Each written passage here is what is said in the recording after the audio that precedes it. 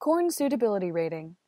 The CSR2 calculates the corn suitability value as CSR2 equals S minus M minus W minus F minus D plus or minus EJ, where S is the taxonomic subgroup class of the soil, M is the family particle size class, W is a function of the soil's water holding capacity, F is the field condition factor, including slope, erosion class, flooding, and topsoil thickness.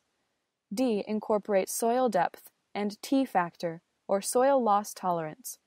EJ is an expert judgment factor accounting for series abnormalities such as textural extremes or high bulk density.